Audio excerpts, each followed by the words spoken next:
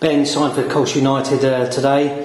You know, how did this second move down there uh, come about, and how did you hear the news? Uh, I've heard about it for a while because I know since I left, really, they've wanted me to come back and come back on loan. But um, yeah, as soon as I know about it, I wanted to come back. But obviously, um, I've been on loan in uh, Spain with one of Wolves' partner clubs.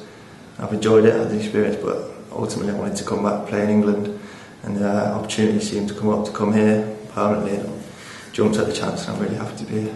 And how much easier is it the fact that you have spent time here on loan and Yeah. you do know all the lads pretty much? I think it'll be a lot easier settling in, and obviously, you know, most lads, know there's a few more faces, but I'm sure it'll be easy to settle in again. Yeah. Yeah, it's just it's good to be back and back in these surroundings. Yeah. And I mean, have you kept in touch with any of the lads, or was it a case of maybe see you soon? No, yeah, I do sometimes. Yeah, um, speak to them sometimes, and uh, still uh, keep tabs. And I still watch. I've still been watching the highlights of the games, and I've been keeping tabs on Colchester. So